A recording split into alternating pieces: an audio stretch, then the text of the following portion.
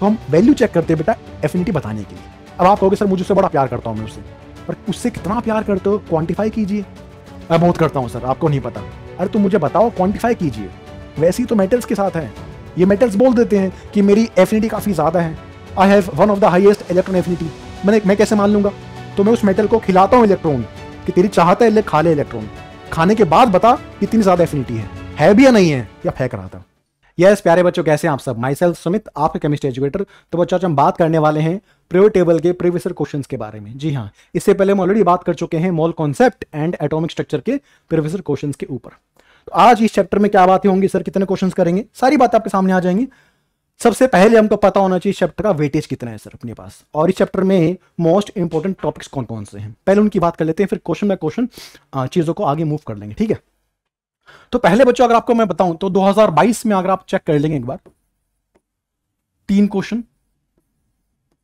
2023 में अगर आप जाएँगे, तीन क्वेश्चन और 2024 में अब जो लेटेस्ट हुआ है अगेन तीन क्वेश्चन मतलब ये कहना चाहता है कि भाई तीन क्वेश्चन और मरी हालत में दो क्वेश्चन तो आपको दे के जाएगा इस चैप्टर से। और तीन क्वेश्चन में से एक क्वेश्चन तो कंफर्म आएगा टाइप ऑफ़ ऑक्साइड के ऊपर। कि आपका गिवन ऑक्साइड एसिडिक है बेसिक है या एम्फोटेरिक अपने पास। तो तीन में से एक क्वेश्चन का बेटा कैटेगरी आपके सामने आ चुका है that is type of oxide और आप देखिएगा बच्चों प्रीवियस क्वेश्चन में 50 परसेंट क्वेश्चन इसी टॉपिक के ऊपर है। इनमें से कौन से ऑक्साइड एम्फोटेरिक है, कौन से एसिडिक है, कौन से बेसिक है। तो पहले हम उसकी बात भी आज कर लेंगे टॉपिक जब हम क्वेश्चन करना जाएँगे, लेकिन आपको इंपॉर्टेंट टॉपिक मैंने पहले हाईलाइट कर दिया। बाकी तो बेसिक वही ट्रेंड होते हैं अनशेंथेलिपी का इलेक्ट्रोनेफिनिटी का उस प्रकार से। लेकिन जो मोस्ट इंपोर्टेंट एरिया है क्वेश्चन वाला, वो है टाइप ऑफ़ ऑक्साइड तो इस पर हम थोड़ा सा फोकस करेंगे क्वेश्चन के थ्रू ठीक है? चलिए। तो पहला क्वेश्चन आपके सामने आता है। पहला क्वेश्चन के अंदर ही, पहला क्वेश्चन आपका एआई पीएमटी का सवाल है बच्चों। तो लास्ट 15 इयर्स के क्वेश्चन हम कवर कर रहे हैं, ये आपको पता है पहले से। तो आज के सेशन का फ़र्स्ट क्वेश्चन है ये, और सीरीज़ का सिक्सटी क्वेश्चन है। पहला क्वेश्चन आपके सामने बच्चों। Which of the following is the most basic oxide सबसे ज़्यादा बेसिक मोस्ट बेसिक ऑक्साइड कौन सी है? तो अगेन वही क्वेश्चन है कि सर टाइप ऑफ़ ऑक्साइड पहचानने को आ गया है, कैसे पहचानेंगे? तो पहले मेरी बात सुन लो आप ध्यान से देन हम चीज़ों के अंदर मूव कर जाएँगे। एक बार सुन लीजिए कंसेप्ट क्या होता है। चलिए। सर कैसे पहचानेंगे ऑक्साइड का नेचर कैसा है? नेचर ऑफ़ ऑक्साइड तो बेटा, अगर ऑक्साइड की बात करेंगे तो oxide can be acidic oxide can be basic oxide can be amphoteric oxide and बच्चा ऑक्साइड कैन बी न्यूट्रल बोलो या सोनो? सर कैसे बोले? वीडियो तो रिकॉर्डिंग फॉर्म में आएगी। अरे कमेंट कर सकते हैं ना भाई? दिमाग तो है हाँ सर है, बिल। ठीक है, sir. Acidic basic amphoteric and neutral oxide बच्चों। तो एक काम करते हैं, पहले इनको याद करके खत्म कर देते हैं। न्यूट्रल ऑक्साइड कौन सी होती है?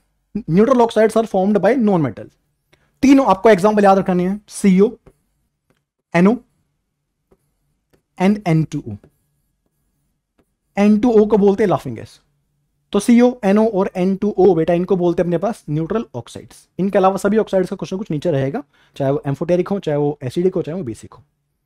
अब सर एसिडिक ऑक्साइड बेसिक और एम्फोटेरिक कैसे पहचानेंगे अपने पास? तो बेटा, एक स्टेटमेंट है जनरली जनरली क्या बोलते हैं अपने पास?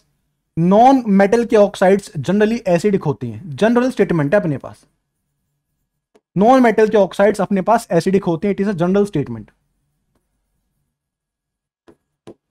और आप क्या बोलते हैं sir metal oxides are basic in nature तो बेसिक ऑक्साइड के लिए अपने पास मेटल की ऑक्साइड होना ज़रूरी है.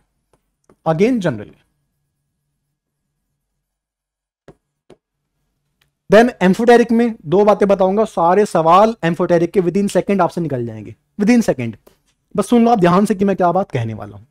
तो ये हो गया ब्रीफ जो आपको पहले से पता होना चाहिए कि acidic oxides are non metal oxides are generally acidic in nature metal oxides are basic in nature and amphoteric की बात अभी सर करने वाले हैं, और न्यूट्रल ऑक्साइड्स तीन होते हैं सीओ एनओ और एन तो ये वाली बात हम कर चुके हैं, चलिए। अब आ जाता हूँ मैं एक एक करके कि सर ये वाले ऑक्साइड्स कैसे पहचानेंगे? बेसिक तो हो गया आइडिया कि मेटल होगा तो जनरली बेसिक होना चाहिए नॉन मेटल होगा तो एसिडिक होना चाहिए, ऐसा आपने कह दिया सर अब एक बार ध्यान दे लीजिए बच्चों एक बार आप ध्यान दे लीजिए, इसी में। यही देख लो आप। सपोज़ आपके पास मेटल गिवन है और मेटल की आपके पास ऑक्साइड्स गिवन है। तो सबसे पहला काम है उस मेटल का उस ऑक्साइड के अंदर ऑक्सीडेशन नंबर निकालना।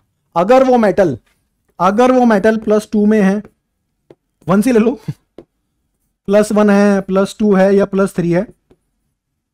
या वो metal plus four oxidation number में है, उस ऑक्साइड के अंदर, या वो मेटल प्लस फाइव में है प्लस सिक्स में है, या प्लस सेवन में है। ये पॉसिबिलिटी है। सेवन से आपके सामने वैसे भी नहीं आने वाला। मैंगनीज प्लस सेवन में आता है, आप जानते हैं पोटेशियम पर मैग्नेट के अंदर। तो अगर मेटल के ऑक्साइड और metal plus one plus two plus three के अंदर है तो आप बोलेंगे कि दे विल बी अगर मेटल का ये स्टेट है बेटा तो आप बोलेंगे they will be basic oxide because आप जानते हैं कि मेटल ऑक्साइड्स बेसिक होती हैं। पर लोअर स्टेट वाली मेटल ऑक्साइड बेसिक होती हैं। जैसे ही ऑक्सीडेशन नंबर बढ़ जाएगा तो मेटल ऑक्साइड के अंदर मेटल का कोवलेंट कैरेक्टर बढ़ जाता है तो उसकी वजह से उसके अंदर एसिडिक फीचर आना स्टार्ट हो जाता है। तो higher oxidation number favours the acidic nature of the oxide though it is a metal oxide तो अगर metal plus one plus two plus three के अंदर है ऑक्साइड के अंदर तो वो ऑक्साइड बेसिक ऑक्साइड हो जाएगी। अगर मेटल प्लस फोर के अंदर है तो आँख बंद करके बोल देंगे कि वो एक एम्फोटेरिक ऑक्साइड है। क्या बोला मैंने? क्या बोला मैंने? अगर मेटल प्लस फोर के अंदर है, आग बंद करके बोल देंगे कि वो एक एम्फोटेरिक ऑक्साइड है। तो कोई भी एग्जांपल जिसमें मेटल प्लस फोर के अंदर ऑक्साइड के अंदर गिवन है, समझ जाएगा कि वो एम्फोटेरिक है। तो पहला ट्रैप एम्फोटेरिक का यहाँ पीछे आता है। फिर मेटल अगर plus five plus six plus seven के अंदर है जो कि हायर स्टेट हो चुके हैं so they will be acidic oxide हमेशा, अब मैं इस हमेशा वाली दुविधा को खत्म कर देता हूँ। इसमें कुछ एम्फोटेरिक हो सकते हैं। इसमें भी कुछ एम्फोटेरिक हो सकते हैं। तो बेसिक ऑक्साइड्स लिख लो साइड में एक्सेप्ट एम्फोटेरिक सबसे पहला काम होता है सवाल के अंदर एम्फोटेरिक है कि नहीं चेक कर लेना। उसके बाद हम चेक करते हैं कि एसिडिक है बेसिक है। सिखाऊँगा करना। एक्सेप्ट एम्फोटेरिक इसलिए मैंने कहा था कि एम्फोटेरिक वाली बात को आप अच्छे से सुनेंगे। सर एम्फोटेरिक के दो नियम है। पहला नियम आपके सामने आ चुका है कि मेटल अगर प्लस फोर के अंदर है तो वह सदैव एम्फोटेरिक ऑक्साइड का एग्ज़ाम्पल हो जाएगा। मेटल की बात कर रहा हूँ मैं। नॉन मेटल की बात नहीं कर रहा हूँ मैं। मेटल मेटल अगर प्लस फोर के अंदर है तो एग्ज़ाम्पल हो जाएगा एम्फोटेरिक का। सर आपने कहा कि यहाँ पर भी कुछ एम्फोटेरिक हो सकते हैं और इधर भी कुछ एम्फोटेरिक हो सकते हैं। मैंने कहा तो एक काम करते हैं, इस एम्फोटेरिक को अलग से एक बार डिटेल में चेक कर लेते हैं। तो ठीक है सर अगर आप कह रहे हैं तो एक बार चेक कर लेते हैं।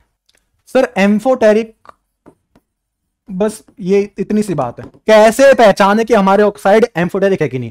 How to identify a given oxide is amphoteric और नॉट चलिए, बहुत छोटी सी बात है कि अगर मेटल अगर मेटल ऑक्साइड और मेटल प्लस फोर के अंदर है, अगर मेटल ऑक्साइड और मेटल प्लस फोर के अंदर है तो वो सदैव एम्फोटेरिक होगा।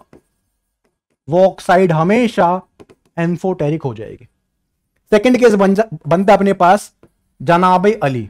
क्या बोला आपने सर? बताऊँगा क्या बोला मैंने अभी। जनाब अली गाया करे, सुना करो वो आसमान के तीन हज़ार तीन सौ पैंतीस प्रभु। सर, क्या बोला आपने? बताऊँगा अभी। ट्रिक है, लॉजिक है कि आइडेंटिफाई करने के लिए कौन कौन से मेटल एम्फोटेरिक हो सकते हैं। तो जनाब Ali, zinc, beryllium, aluminium, gallium. जनाब अली गाया करे, सुना करो, सुना फॉर करो फॉर क्रोमियम क्रोमियम जनाबे अली गाया करे, सुना करो। वो वो मीन्स वेनेडियम वो आसमान के सभी जनाबे अली गाया करे, सुना करो। वो आसमान के सभी प्रभु। प्रभु मीन्स लास्ट में आ जाएगा लेड पीवी लेड होता है मेटल होता है। ग्रुप फोर्टीन का एलिमेंट आपको शायद विजिबिलिटी होगी, यहाँ देख लो। चेक कर लो फटाफट से। जनाबे अली जनाबे अली गाया गाया फिर गैलियम। सुना करो वो आसमान के सभी प्रभु। अब इसमें सर कौन कौन से स्टेट्स मुझे याद रखने अपने पास? क्रोमियम प्लस थ्री में होगा तो ही एम्फोटेरिक हो सकता है। वेरेडियम प्लस फाइव के अंदर ही एम्फोटेरिक हो सकता है। ये प्लस थ्री ये प्लस थ्री बस। ये दो ही केस हैं। आपके पास एम्फोटेरिक आने के नॉन मेटल्स के अंदर एम्फोटेरिक वाली बात नहीं होती है। नॉन मेटल्स के अंदर एम्फोटेरिक वाली बात नहीं होती। मेटल्स में चुल मस्ती है और कुछ मेटालॉइड्स के अंदर। जैसे आप देख देख पा रहे हैं। आर्सेनिक हो गया एंटीमनी हो गया मेटालॉइड्स क्लियर बच्चों? तो एम्फोटेरिक में, अगर मेटल प्लस फोर में है तो हमेशा एम्फोटेरिक रहेगा। इसके अलावा सेकंड केस ये बनता है zinc beryllium aluminium gallium tin tin के दो सेट्स होते हैं। Tin plus two tin plus four दोनों में एम्फोटेरिक है। क्रोमियम प्लस थ्री में ही सिर्फ़ एम्फोटेरिक है। वेनेडियम सिर्फ़ प्लस फाइव में एम्फोटेरिक है, बाकी तो नॉर्मल केस बनने वाले हैं। आर्सेनिक प्लस थ्री में एम्फो एंटीमनी प्लस थ्री में एम्फो लेड लेड के दो स्टेट्स बनते हैं प्लस टू प्लस फोर दोनों में एम्फोटेरिक। बस, ये है अपने पास एम्फोटेरिक का पूरा मसाला। तो सबसे पहला काम है ऑक्साइड एम्फोटेरिक है कि नहीं पहचान लो। फिर लगाओ लॉजिक कि अगर metal plus one plus two plus three में है तो इट विल बी बेसिक अगर मेटल प्लस पाँच प्लस छह प्लस सात में है तो इट विल बी एसिडिक एक एग्ज़ाम्पल लीजिए फटाफट से। एग्ज़ाम में आ जाएगा sir T I O two बताओ क्या है? कौन सी नेचर की ऑक्साइड है? एसिडिक की बेसिक है। टाइटेनियम मेटल है, पहली बात तो पता होना चाहिए कि मेटल है कि नहीं है। हाँ सर मेटल है। मेटल है तो मेटल प्लस चार में आँख बंद करके बोल देंगे एम्फोटेरिक बात ही खत्म। अगला एग्ज़ाम्पल अगर एग्ज़ाम में आ जाए वी टू ओ फाइव इसका नेचर बताइए। एग्ज़ाम में खूब आता है वाला।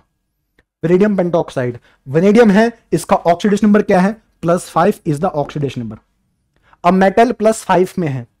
तो एसिडिक होना चाहिए, लेकिन उससे पहले हमें चेक करना है कि कहीं एम्फोटेक तो नहीं है। चेक कर लेते हैं। जनाबे अली गाया करे, सुना करो वो।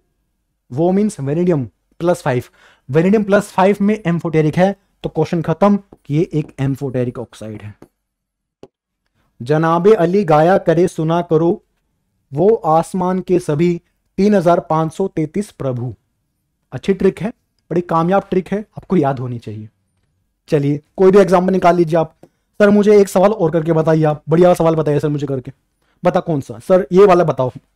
सी आर ओ थ्री वाला। डिफ़िकल्ट क्वेश्चन है सर तो सबसे पहला काम है ऑक्सीडेशन नंबर निकालना। Sir C R will be plus six उनका ठीक है। मेटल प्लस सिक्स में है। तो लॉजिक क्या है सर सर कंसेप्ट तो ये कहता है क्या? कि मेटल अगर पाँच छः सात में है तो वो हमेशा एसिडिक रहेगा, अगर वो एम्फो नहीं है तो। चलिए, सही बात है। अब मुझे बताओ C R plus six metal है? मेटल प्लस सिक्स में एसिडिक होना चाहिए। बस एक बार चेक कर लो कि क्रोमियम प्लस सिक्स में एम्फो तो नहीं है? नहीं सर ना जनाब अली में आ रहा है, ना प्लस फोर में आ रहा है सर तो प्लस सिक्स वाला तो मेटल है तो एसिडिक हो जाएगा। क्या आप मेरी बात पकड़ पा रहे हैं? तो मेटल अगर plus one plus two plus three में basic except amphoteric metal plus four always amphoteric metal plus five plus six plus seven में एसिडिक रहेगा एक्सेप्ट एम्फोटेरिक तो पहला काम है मेटल देखते ही एम्फोटेरिक वाली बात को रट्टा मार लेना। एम्फोटेरिक तो नहीं है, फिर तो ठीक है। वन टू थ्री है तो बेसिक फाइव सिक्स सेवन है तो एसिडिक चलिए प्लीज़ रिमेंबर दिस कंसेप्ट और यहाँ से आपके बहुत सारे क्वेश्चंस निकल के आ जाएँगे। पहला सवाल the first question is the first question which of the following is the most basic oxide most basic oxide पूछा है। पहले चेक कर लेते कि एसिडिक ऑक्साइड कौन से बेसिक कौन से, फिर मोस्ट बेसिक वगैरह निकाल लेंगे। सेलेनियम सर सेलेनियम तो मेटालोइड है। सेलेनियम मेटालोइड है।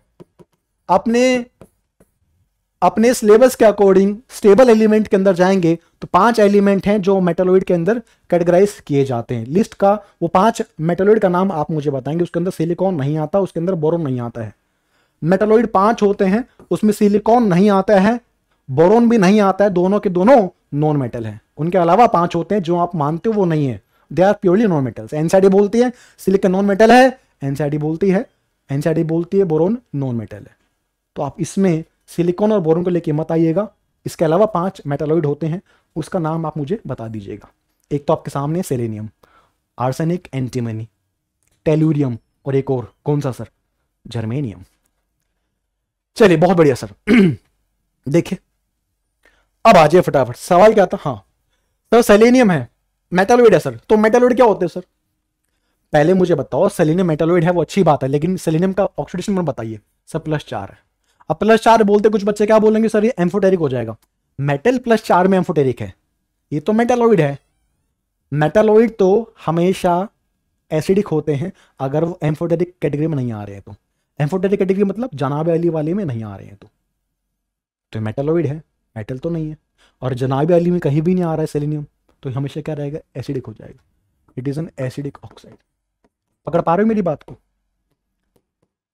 मज़ा आ रहा है?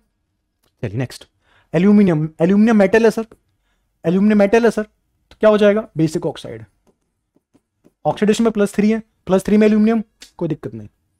S B two O three S B two O three S B that is antimony plus three में है sir antimony plus three में है तो ये मेटालॉइड पर क्या ये जनाब अली में आ रहे हैं? हाँ सर, आ रहे हैं। सुना करो, वो आसमान के सभी सभी means antimony plus three में। एंटी मनी प्लस थ्री में एम्फोटेरिक हो जाएगा। इसलिए पहला चेक करना होता है कि एम्फोटेरिक है कि नहीं। Sir it is amphoteric bismuth. अरे, सर, ये भी तो गलत हो गया। हाँ ये भी गलत हो गया। पहले क्या चेक करेंगे? एम्फोटेरिक है कि नहीं? जनाबे अली। देखो भैया, ऐसे एग्ज़ाम में गलती होती है। अली मीन्स एल्यूमिनियम हाँ। अरे एल्यूमिनियम तो एम्फोटेरिक है ना भाई, कहाँ दिमाग लगा रहे थे? एल्यूमिनियम एम्फोटेरिक है। बिस्मत बिस्मत मेटल होता है सर ग्रुप पंद्रह का लास्ट एलिमेंट है। और मेटल प्लस थ्री के अंदर है। बिस्मत प्लस थ्री के अंदर है। ठीक है सर। क्या जनाब अली में आ रहा है? नहीं आ रहा सर। अगर मेटल वन टू थ्री में है तो बेसिक होते हैं। क्या मेटल प्लस थ्री तक आ रहा है? आ रहा है सर तो metal plus one metal plus two metal plus three अगर होते हैं तो वो बेसिक होते हैं। अगर वो एम्फोडेक नहीं है तो। तो क्या ये बेसिक है? हाँ ये बेसिक है। अब सवाल देख लीजिए। पूछा है मोस्ट बेसिक ऑक्साइड कौन सा मैंने कहा मोस्ट बेसिक छोड़ो, एक ही बेसिक ऑक्साइड है। उसी को आप मोस्ट या जो माने मान लीजिए। Option D is the answer पर इस सवाल के तो मैंने आपको आने वाले दस सवाल इस चैप्टर के अंदर कवर करा दिए। थोड़ा सा मैंने फास्ट कवर किए हैं, ज़ाहिर सी बात है। बट हो सकता है आपने इन कुछ चीज़ों को पहले पढ़ा हो, ठीक है? पर मैं ट्राई किया थोड़ा सा आपको एक छोटा सा आइडिया देने के लिए। Otherwise this class will take one hour इस टॉपिक को पढ़ाने बेटा। बट ठीक है, आपको काफ़ी अच्छा आइडिया मिल जाता है, ऐसी बात नहीं है। नेक्स्ट है बच्चा ये वाला, ऐसे क्वेश्चन काफ़ी सारे गिवन है चैप्टर के अंदर भी। Identify the correct order of the size of the following बेटा, आपसे आयनिक साइज़ पूछा गया ये सवाल बेटा आपके पास बन जाता है आइसो इलेक्ट्रॉनिक स्पीशीज का। आइसो इलेक्ट्रॉनिक स्पीशीज का बेटा सवाल बन जाता है आपके सामने। एआईपीएमटी का सवाल है। तो इसमें कंसेप्ट क्या होता है सर इसमें कंसेप्ट क्या है? In case of isoelectronic charge check करते हैं। पहली बात तो नंबर ऑफ़ इलेक्ट्रॉन सेम है दैट इज़ आइसो इलेक्ट्रॉनिक तो चार्ज चेक कर लेते हैं। जितना ज़्यादा नेगेटिव चार्ज उतना साइज़ ज़्यादा रहेगा। जितना ज़्यादा पॉजिटिव चार्ज रहेगा, जितना ज़्यादा पॉजिटिव चार्ज रहेगा तो आप जानते हैं, अगर पॉजिटिव चार्ज बढ़ेगा तो आपका साइज़ कम हो जाएगा बिकॉज़ आपका न्यूक्लियर चार्ज इंक्रीज कर जाता है। और न्यूक्लियर चार्ज इंक्रीज करेगा इफ़ेक्टिव न्यूक्लियर चार्ज बढ़ेगा तो साइज़ कॉन्ट्रैक्ट कर जाएगा। और जितना पॉजिटिव चार्ज रहेगा, जितना पॉजिटिव चार्ज रहेगा, आपका न्यूक्लियर चार्ज ज़ाहिर से बात है कि इंक्रीज करेगा। ठीक है? तो दो तीन बातों को रिलेट कर रहा हूँ पे मैं, कि न्यूक्लियर चार्ज कब बढ़ता है? जितना ज़्यादा पॉजिटिव चार्ज आता है एटम पे, उतना ज़्यादा न्यूक्लियर चार्ज रहेगा। Towards the outer electron size contact हो जाएगा रेडियस कम हो जाएगा। ठीक? इसके विपरीत, अगर नेगेटिव चार्ज बढ़ता जाएगा किसी भी आयन पे नेगेटिव चार्ज बढ़ता जाएगा तो उसका साइज़ इंक्रीज करता जाएगा बिकॉज़ उसका न्यूक्लियर चार्ज कम होता चला जाएगा। तो ये रिलेशन आपको मैंने सिखा दिया। तो अगर आपके पास दो आयन्स हैं, एक आयन ए है, एक बी है, इस पे चार्ज माइनस वन है सपोज़ इस पे चार्ज प्लस वन है। और दोनों आइसो इलेक्ट्रॉनिक है।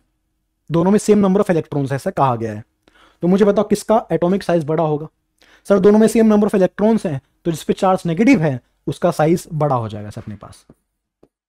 रीड को मैं कंपेयर कर रहा हूँ। तो ये कंसेप्ट हम लगाते हैं आइसो इलेक्ट्रॉनिक सवाल करने के लिए बच्चों। अब कैल्शियम प्लस टू के पास 18 इलेक्ट्रॉन्स हैं। पोटेशियम प्लस के पास 18 हो जाएँगे। आर्गन के पास 18 हैं। क्लोरीन के पास 17 थे, एक ले लिया 18 हो गए। सल्फ़र के पास 16 थे, दो ले लिए 18 हो गए। So these are isoelectronic species के एग्ज़ाम्पल आप क्या निकालना है? जितना ज़्यादा नेगेटिव चार्ज उतना ज़्यादा मज़ा। Minus two, minus one, zero, plus one, plus two, option A is the answer जितना ज़्यादा नेगेटिव उतना ज़्यादा साइज़ और बाकी उसके हिसाब से साइज़ डिक्रीज करता चला जाएगा. नेक्स्ट क्वेश्चन और ऐसे क्वेश्चन खूब आने वाले हैं. पहले बता रहा हूँ मैं वीडियो के अंदर. ट्राई करना कि आपसे सारे बने. नेक्स्ट क्वेश्चन बच्चों. Sixty the correct order of decreasing second ionisation enthalpy of titanium vanadium chromium and manganese second ionisation enthalpy की बात की है बच्चों. फ़र्स्ट की नहीं सेकेंड की. तो टाइटेनियम की बात करते हैं। देन हमसे पूछा है vanadium, then chromium, then manganese. तो सेकेंड का मतलब है कि पहले एक इलेक्ट्रॉन निकल चुका है। तो पहले अगर इलेक्ट्रॉन निकल चुका है तो ये ये बन चुका होगा प्लस और ये बन गया होगा वी पॉजिटिव ये बन गया होगा सी आर पॉजिटिव और ये बन गया होगा सर अपने पास एम एन पॉजिटिव इनका सर हमसे पूछा गया है कि what will be the ionisation enthalpy order यानी कि पहला निकल चुका है सेकेंड वाले की बात कर रहा हूँ। इसमें से निकालने हैं आपको इलेक्ट्रॉन इसमें से निकालने हैं, इसमें से निकालने इसमें से निकालने that is the second ionisation energy of this metals तो पहले तो निकल गया होगा सर। अब इसका हमें चेक करना है कॉन्फ़िगरेशन कि इसमें से निकालते वक्त किसमें डिफिकल्टी आएगी, किसमें जल्दी से निकल जाएगा। सबसे पहली बात टाइटेनियम वेरिडियम क्रोमियम मैंगनीज पहले आप बताओ, ये सब डी ब्लॉक के एलिमेंट है थ्री सीरीज़ के एलिमेंट है। सीक्वेंस वाइज लिख रखे हैं मैंने। ट्रेंड कहता है कि यहाँ से यहाँ जाने पे आपका आयनेशन एंथैल्पी की वैल्यू इंक्रीज करती है। ट्रेंड जनरल ट्रेंड क्या कहता है? On moving from left to right आप जानते हैं कि साइज़ डिक्रीज करता है और आयनेशन एंथैल्पी बढ़ जाती है। Same with the D block तो जनरली अगर मुझसे कुछ और ना पूछा जाए, मुझे कुछ भी ना पता हो तो मैं क्या बोलूँगा? मैंगनीज की एंथैल्पी ज़्यादा होनी चाहिए then chromium then vanadium and titanium ठीक? बिकॉज़ ट्रेंड वही कहता है। लेकिन ट्रेंड को कई बार बीच में एक्सेप्शन वाली बात आप कर लेते हो बिकॉज़ आप हाफ़ फ़ील्ड या फुली फ़ील्ड इलेक्ट्रॉनिक कॉन्फ़िगरेशन की बात कर लेते हैं। तो सर वो वाली बात यहाँ करेंगे हाँ बेटा। तो ट्रेंड के अकॉर्डिंग आंसर क्या आएगा? एम एन हाइएस्ट या ही लोवेस्ट पर एक बार चेक कर लेते हैं कि सी आर प्लस इनमें से निकालना डिफ़िकल्ट है कि नहीं। तो what is the titanium plus configuration बस स्कैंडियम के बाद आता है titanium three D three S two three D two ये बन गया three D one sorry three S one so it is three D two three S one ये बताओ scandium titanium vanadium three S two three D three तो outer most एक निकाल लिया, क्या बचेगा? थ्री एस क्यू आएगा भैया? फोर एस आएगा, बताओ यार। फोर एस इसका बताओ सीआर पॉजिटिव का सर सीआर आप जानते हैं कि three D five four S one होता है। एक निकाल लिया तो थ्री डी फाइव बचेगा। इसमें three D five four S one बचेगा। तो इन सभी की एनर्जी इन सभी की आपसे पूछा है व्हाट इज़ द आने से एनर्जी ऑर्डर बताइए। इसके लिए सेकंड हो जाएगी, इनके लिए फ़र्स्ट हो जाएगी। समझ में आ रहा है सेकंड फ़र्स्ट का मतलब क्या होता है? सेकंड पूछा ना? तो ट्रेंड के हिसाब से बताइए। सर ट्रेंड तो मुझे बता रहा है कि सबसे हाईएस्ट रहेगा एम एन प्लस का देन सी आर प्लस का देन वी पॉजिटिव का देन सर टाइटेनियम पॉजिटिव का। और ये हमारा आंसर हो जाएगा सर लेकिन चेक कर लो एक बार। सर हाफ़ फ़ील्ड कोई है? ये रहा सर और आपको सिखा रखा है कि हाफ़ फ़ील्ड की एंथैल्पी ज़्यादा हो जाती है अपने नेबर वाले से। जस्ट अपने आगे वाले को बीट करता है वो। तो इसकी एनर्जी इससे पीछे होगी ट्रेंड के हिसाब से, लेकिन वैल्यू के हिसाब से ये आगे चला जाएगा because of exception case of half filled configuration more stable configuration तो ये आंसर एक्सपेक्टेड था, लेकिन यहाँ कुछ हम चेंज करेंगे। तो आंसर क्या आ जाएगा? सी आर सबसे ज़्यादा then M N then V positive then T I positive मतलब सी आर मीन क्रोमियम सबसे आगे आ जाएगा then manganese then vanadium then T I option C will be answer तो मैं समझा रहा था आपको, इसलिए समय लग रहा है। अदरवाइज़ अगर आपको चीज़ें पहले से पता है तो आप सीधा आंसर देख के आगे बढ़ सकते हैं बच्चे। पर मैं चाहता हूँ कि हर बच्चा थोड़ा सा जो बेसिक भी उसका क्लियर नहीं है तो थोड़ा ट्रेंड सिखा दिया मैंने। क्योंकि बिकॉज़ बड़ा एक लिमिटेशन होती है हमारे भी। एक क्वेश्चन के पीछे हम पूरा पढ़ा सकते। हैं तो मैं ट्राई करता हूँ कि थोड़ा सा आसपास की बात बता दूँ कि अगर आपको इस वीडियो से कुछ फ़ायदा मिले तो मैक्सिमम फ़ायदा आपको मिल सके बच्चों ठीक है? तो मैं उम्मीद करता हूँ हर बच्चे को बेसिक्स तो आता होगा कॉन्फिगेशन लिखना फिर आप इजिली निकाल लोगे ठीक है? चलो। सेवेंटी क्वेश्चन बच्चों। Again, same question. Which of the following oxide is not expected to react with sodium hydroxide? इनमें से कौन सा ऑक्साइड है जो NaOH के साथ रिएक्शन नहीं करेगी? भाई NaOH बेस है। तो बेस के साथ रिएक्शन कौन नहीं करेगा जो खुद बेस होगा? भाई NaOH बेस है। तो उसके साथ रिएक्शन कौन नहीं करेगा? सर एसिड तो कर लेगा। सर एम्फोटेरिक भी कर लेगा, सर बिकॉज़ दोनों से रिएक्शन करते हैं। पर अगर जो खुद बेस है, सर, वो किसी बेस के साथ रिएक्शन नहीं करेगा, सर। तो एनएच के साथ with base no reaction sir. Common sense तो इनमें से निकाल लो कि कौन सा बेसिक है या कौन सा बेसिक ऑक्साइड है। सर बेरिलियम जनाबे अली में, सर, ये तो एम्फोटेरिक है। नहीं चाहिए। Boron, boron is non metal, boron is non metal, boron is non metal, boron is non metal. और बोरोन का ऑक्साइड क्या हो जाएगा? It is acidic oxide non metal के ऑक्साइड्स एसिडिक होती हैं, कोई डाउट ही नहीं उसमें तो सर कैल्शियम कैल्शियम मेटल है सर और मेटल प्लस टू के अंदर है। मेटल प्लस टू में है तो बेसिक हो सकता है। क्या कैल्शियम जनाब अली में कहीं आ रहा है? कहीं नहीं आ रहा सर ये प्योरली मेटल ऑक्साइड है। मतलब it is purely basic oxide silicon silicon is non metal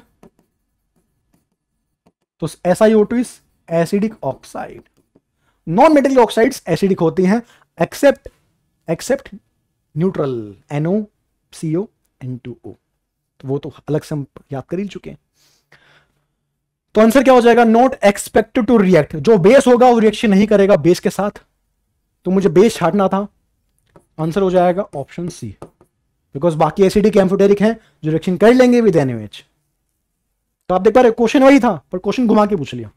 same question घुमा के पूछ लिया आपसे। Among the element with the following configuration which one of them have the highest ionisation energy किसकी energy सबसे ज़्यादा पाई जाएगी? तो काम करते हैं, इन सभी कॉन्फ़िगरेशन से उन एलिमेंट को पहचान लेते हैं। फिर आंसर आ जाएगा सर ये कौन सा एलिमेंट है सर नियोन टेन ग्यारह, बारह, तेरह। सर तो एल्यूमिनियम हो जाएगा। नियोन टेन ग्यारह, बारह, तेरह, चौदह, पंद्रह। सर तो थर्ड पीरियड का फिफ्टीन ग्रुप में आएगा। दैट इज़ फॉस्फोरस ये क्या है? सिलिकॉन ये क्या है? सर ये तो फोर्थ पीरियड का एलिमेंट है। डरो मत, फिर भी बताओ क्या होगा? आउटर मोस्ट पी थ्री आ रहा है। पी थ्री कब आता है? ग्रुप पंद्रह में आएगा अपने पास। ग्रुप फिफ्टीन एलिमेंट है।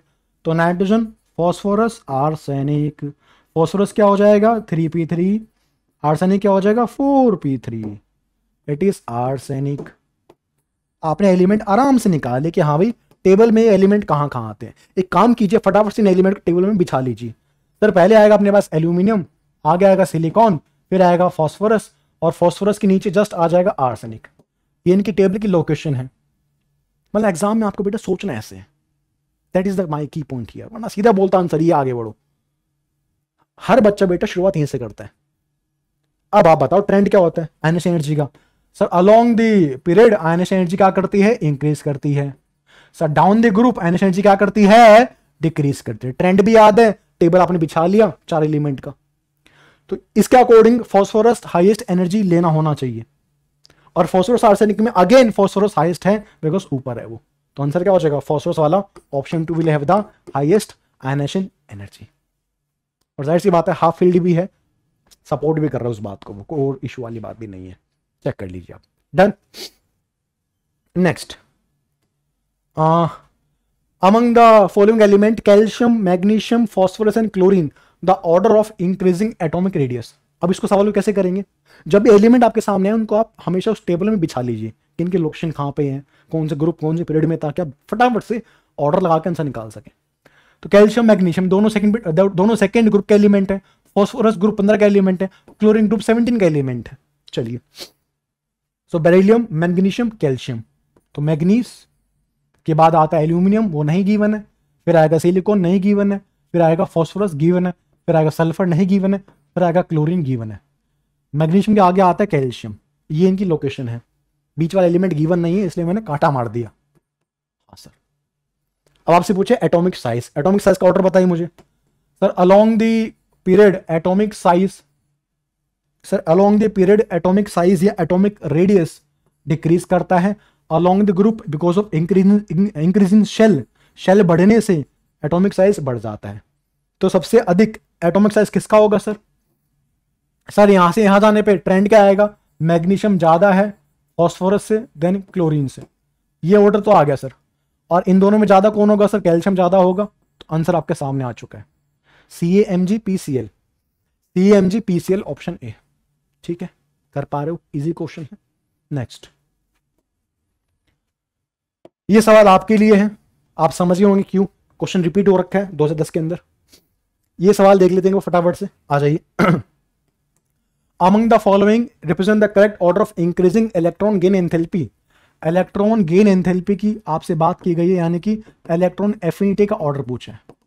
इलेक्ट्रॉन एफिनिटी की मतलब चाहत इलेक्ट्रॉन खाने की चाहत। अब इलेक्ट्रॉन खाने की चाहत कैसे पता करेंगे? उस रिएक्शन की एंथैल्पी निकालेंगे। जितनी ज़्यादा एंथैल्पी की वैल्यू नेगेटिव होगी वो रिएक्शन फेवरेबल होगी। उस रिएक्शन में इलेक्ट्रॉन खाना फेवर किया जाएगा। फॉर एग्ज़ाम्पल आप कहते हैं कि कोई एलिमेंट है सर ई e, उसके इलेक्ट्रॉन खाने की टेंडेंसी काफ़ी ज़्यादा है। तो मैंने कैसे पता किया तूने? सर मैंने रिएक्शन करवाई। उस, उस, उसको इलेक्ट्रॉन खिलाया और काफ़ी ज़्यादा मात्रा में मुझे एंथैल्पी मिली नेगेटिव मतलब रिएक्शन इज़ हाईली एक्सोथर्मिक तो ये रिएक्शन की वैल्यू नेगेटिव क्या बता रही है? कि प्रोसेस एक्सोथर्मिक है रिएक्शन एक्सोथर्मिक है मतलब बहुत ज़्यादा टेंडेंसी है इस एलिमेंट की इलेक्ट्रॉन खाने की और ई e माइनस बनाने की बिकॉज़ ई माइनस स्टेबल है बजाय ई e के। तो हम वैल्यू चेक करते हैं बेटा एफिनिटी बताने के लिए। अब आप कहोगे सर मुझे उससे बड़ा प्यार करता हूँ मैं उससे। पर उससे कितना प्यार करते हो? क्वांटिफाई कीजिए। मैं बहुत करता हूँ, सर, आपको नहीं पता। अरे, तुम मुझे बताओ क्वांटिफाई कीजिए। वैसे ही तो मेटल्स के साथ है। ये मेटल्स बोल देते हैं कि मेरी एफिनिटी काफ़ी ज़्यादा है। I have one of the highest electron affinity मैंने, मैं कैसे मान लूँगा? तो मैं उस मेटल को खिलाता हूँ इलेक्ट्रॉन कि तेरी चाहता है, ले, खा ले इलेक्ट्रॉन खाने के बाद बता कितनी ज़्यादा एफिनिटी है। है भी या नहीं है? या फेंक रहा था। तो वैसे हम चेक कर लेते फटाफट से। क्वांटिफाई कर लेते हैं। बोलिए, सुनो। आप मुझे पता है क्वांटिफाई नहीं कर सकते हो, आप बस सोच के खत्म कर देते हैं हाँ सर, ऐसे, ऐसा होता है। तो क्वांटिफाई की चीज़ों को बेटा, बताओ एटलीस्ट सामने वाले को जाके बताओ और फिर आपको उसका जवाब मिल जाएगा, फिर आप दोबारा पढ़ाई में ध्यान दे लेंगे। तो e plus electron for e minus enthalpy ज़्यादा होगी तो वैल्यू भी काफ़ी मतलब एफिनिटी ज़्यादा होगी तो वैल्यू भी काफ़ी हाईली नेगेटिव हो जाएगी। कंसेप्ट सिखा दिया, अब सवाल पे आ जाइए। पूरे टेबल के अंदर हाईएस्ट इलेक्ट्रॉन एफिनिटी क्लोरीन की होती है। किसकी? क्लोरीन की। ग्रुप 17 वाले एलिमेंट है दे आर हाईली इलेक्ट्रोनेगेटिव तो वैसे इलेक्ट्रॉन खाना चाहते हैं, ठीक है। कुछ एलिमेंट गिवन है sir oxygen sulphur fluorine chlorine sir यहाँ से यहाँ जाने पे इलेक्ट्रॉन एफिनिटी बढ़ती है, और यहाँ से यहाँ जाने पे इलेक्ट्रॉन एफिनिटी घट अकॉर्डिंग टू ट्रेंड ट्रेंड के हिसाब से। ध्यान दीजिएगा आप। थर्ड पीरियड के एलिमेंट की जो एफिनिटी है, वो सेकेंड वालों से ज़्यादा होती है। ट्रेंड को छोड़ दीजिए ट्रेंड तो जनरल ट्रेंड होता है वो तो। थर्ड पीरियड वाले एलिमेंट की जो टेंडेंसी है एफिनिटी है, वो ज़्यादा होती है बजाय सेकेंड के बिकॉज़ ऑफ़ साइज़ ऑक्सीजन ने खाया इलेक्ट्रॉन बना ओ माइनस ठीक है रिएक्शन अच्छी है काफ़ी अच्छी एफिनिटी रहेगी, कोई दिक्कत नहीं है। सल्फ़र ने खाया इलेक्ट्रॉन बनेगा एस माइनस ज़्यादा फेवरेबल है। बिकॉज़ सल्फ़र में माइनस मतलब बड़े आइटम में माइनस चार्ज है। अगर बड़ा आइटम में माइनस चार्ज है तो माइनस चार्ज आराम से डिस्पर्स हो सकता है, फैल सकता है। ताकि इलेक्ट्रॉन इलेक्ट्रॉन रिपल्शन मिनिमाइज हो सके। बिकॉज़ ऑक्सीजन के पास पहले से इलेक्ट्रॉन्स हैं। सल्फ़र के पास पहले से इलेक्ट्रॉन्स हैं। आप एक इलेक्ट्रॉन एक्स्ट्रा दे रहे हो तो वो एक्स्ट्रा इलेक्ट्रॉन क्या करेगा? पहले से मौजूद इलेक्ट्रॉन्स के बीच में अपने पास रिपल्शन स्टार्ट कर देगा। तो चूँकि साइज़ अगर बड़ा रहेगा तो वो रिपल्शन मिनिमाइज हो जाएगी बिकॉज़ चार्ज फैल जाएगा। साइज़ छोटा रहेगा तो परेशानी स्टार्ट हो जाएगी।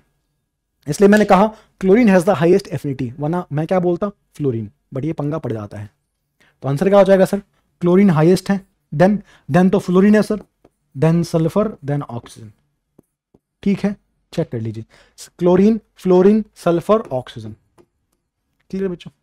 Then concept plus answer next question ये सवाल जेई मेंस का है। ये सवाल जेई मेंस का है।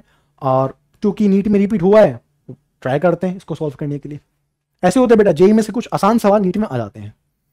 What is the value of electron gain enthalpy of sodium positive if first enthalpy of Na is 5.1? इसकी बेटा इलेक्ट्रॉन गेन एंथैल्पी पूछिए। हम उसी की बात कर रहे थे अभी। तो सर Na पॉजिटिव की इलेक्ट्रॉन गेन एंथैल्पी कैसे निकालेंगे सर इसको खिलाओ इलेक्ट्रॉन बनेगा Na हाँ याद आ गया सर तो इसकी वैल्यू पूछी गई है। Na पॉजिटिव की पूछी Na की नहीं पूछी Na पॉजिटिव के इलेक्ट्रॉन खाने की टेंडेंसी कितनी है? और मुझे दिया है first enthalpy first energy of Na N की एन एनर्जी का मतलब क्या होगा? कि उसके आउटर मोस्ट में से एक इलेक्ट्रॉन निकाल लिया। और इस प्रोसेस के अंदर कितनी एनर्जी मुझे चाहिए होगी? 5.1 वन ईवी चाहिए होगी। तो ये रिएक्शन करवाने में मेरा 5.1 वन ईवी खर्च हो रही है। तो मुझसे पूछा गया, इस रिएक्शन के अंदर एंथैल्पी क्या होगी? मैं कहूँगा आंसर आ चुका है। Answer is minus five point one eV आप बोलेंगे, सर, कैसे? इसमें उसमें फ़र्क क्या है? उल्टा कर दीजिए। रिएक्शन को उल्टा कर देंगे तो वैल्यू आ जाएगी। रिएक्शन को उल्टा करने से एंथेल्पी का साइन चेंज हो जाता है बस, और कुछ नहीं होता। अगर ए से बी की एंथेल्पी टेन जूल है तो बी से ए की एंथेल्पी माइनस टेन जूल हो जाएगी। बिकॉज़ डायरेक्शन विल रिवर्स ये हमारा आंसर है। बस इस सवाल में पता होना चाहिए आपको कि रिएक्शन कैसे लिखते हैं आइनस एंथेल्पी वाले के लिए और इलेक्ट्रॉन एफिनिटी वाले के लिए बेटा। इसलिए मैं हमेशा कहता हूँ सिर्फ़ ट्रेंड मत याद करो। ऊपर से मत, ऊपर से मत पढ़ के जाओ बेटा। सवाल को अच्छे से पढ़ के जाओ कंसेप्ट सीख के जाओ बच्चों। अगर सवाल आएगा इलेक्ट्रॉन एफिनिटी पे तो आपको रिएक्शन लिखने आनी चाहिए कि ये मतलब है एफिनिटी खा मतलब इलेक्ट्रॉन एफिनिटी का, कि इलेक्ट्रॉन खाने की क्षमता है कि नहीं, कैसे पता करेंगे इलेक्ट्रॉन खिलाएँगे और डेल्टा एच की वैल्यू चेक कर लेंगे। इलेक्ट्रॉन खिलाएँगे डेल्टा एच चेक कर लेंगे बेटा। तो जैसे आप रिएक्शन लिख दोगे, आपको बात हमेशा याद रहेगी और फिर आप ऐसे क्वेश्चन जो टिप टफ क्वेश्चन होते हैं, उनको आप आराम से हैंडल कर सकते हो। अब तो खैर इजी क्वेश्चन बन चुका है बट जब आया होगा, तब टफ होगा ये। ठीक है, पढ़ाई नहीं गया होगा बच्चों को, हो सकता है। इसलिए पूरी चीज़ पढ़ा करो जहाँ भी पढ़ो बेटा आप। एएपीएमटी 2012 का सवाल है ट्राई कीजिए वाला सवाल आपसे बने। आइडेंटिफाई द रॉन्ग स्टेटमेंट गलत आपको छाटना है। Atomic size of the element increase as one moves down the first group of the table ये तो सही बात है सर सही बात नहीं चाहिए मुझे। Atomic size of element decrease as one move from left to right in the second period ये भी सही बात है। Amongst isoelectronic species smaller the positive charge smaller the positive charge on the cation इस पे चार्ज कम है cation पे। Smaller will be the radius ये गलत बात है सर गलत मतलब ये मेरा आंसर है। गलत कैसे सर भाई, इस पे चार्ज प्लस वन है, इस पे चार्ज प्लस टू है। किस पे चार्ज कम है, इस पे चार्ज कम है। तो साइज़ किसका ज़्यादा होगा सर सर आपने अभी सिखाया था, अगर आइसो इलेक्ट्रॉनिक है तो जितना ज़्यादा पॉजिटिव चार्ज उतना साइज़ कम हो जाएगा। तो साइज़ का ऑर्डर तो सर ये होगा। पर इस सवाल पढ़ के देखिए आप। Smaller the positive charge on the cation smaller the ionic radius ना। चार्ज कम है, चार्ज मात्र प्लस वन है। चार्ज स्मॉल है प्लस वाला। तो साइज़ बड़ा नहीं हो जाएगा हाँ सर माइनस का चार्ज बड़ा होना चाहिए साइज़ बढ़ जाएगा। ऑप्शन डी देखिए आप। Amongst isoelectronic species, greater the charge, negative charge on the anion, larger will be the बिल्कुल सही बात है। बिल्कुल सही बात है। तो नेगेटिव चार्ज जितना ज़्यादा होगा साइज़ उतना बड़ा होगा। जितना प्लस चार्ज बढ़ेगा साइज़ उतना कम हो जाएगा। तो अगेन सवाल वही है, पर घुमा के पूछ लिया गया बच्चों। नेक्स्ट क्वेश्चन आपसे पूछा है, कौन सा ऑर्डर सही है रेडियस का बच्चों? कुछ सवाल की है ना एक बताइए फटाफट से मुझे आप। H minus H positive H मैंने कहा एच है एच प्लस तो एच प्लस कम हो जाएगा एच से सर और एच माइनस ज़्यादा हो जाएगा सर नेगेटिव चार्ज आएगा साइज़ बढ़ जाएगा पेरेंट एटम के मुकाबले। पॉजिटिव चार्ज आएगा साइज़ कम हो जाएगा पेरेंट एटम के मुकाबले।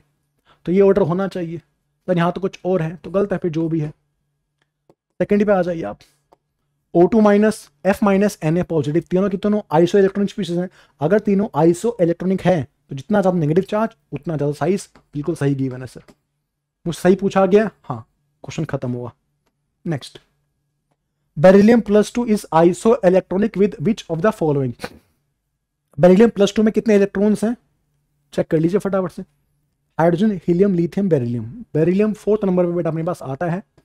इसके पास होते हैं चार इलेक्ट्रॉन तो दो निकाल लोगे तो बचेंगे दो इलेक्ट्रॉन H प्लस के पास कुछ भी नहीं है। हाइड्रोजन हीलियम लिथियम लिथियम के पास तीन होते हैं।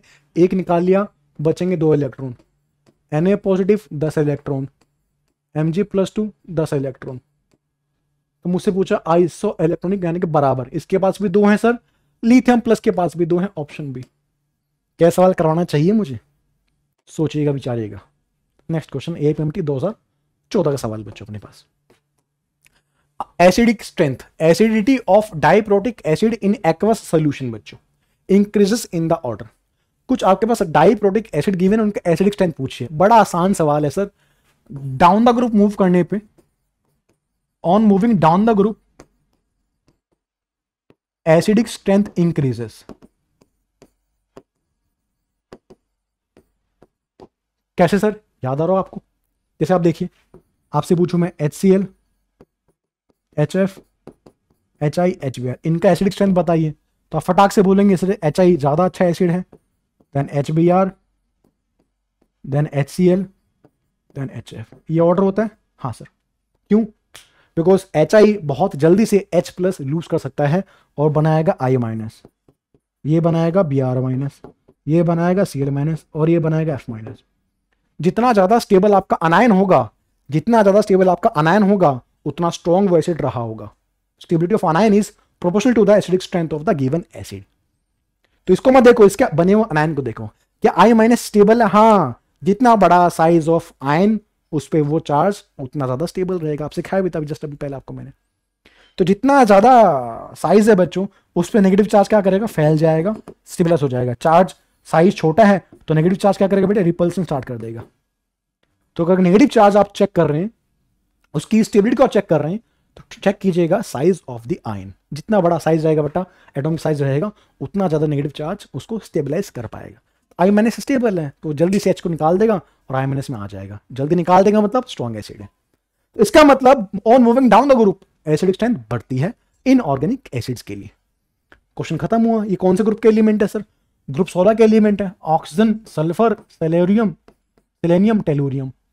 तो टेलूरियम ज़्यादा रहेगा then selenium then sulphur option A चलिए डन कंसेप्ट सिखा दिया एग्ज़ाम्पल के साथ, बाकी आपको पता है आंसर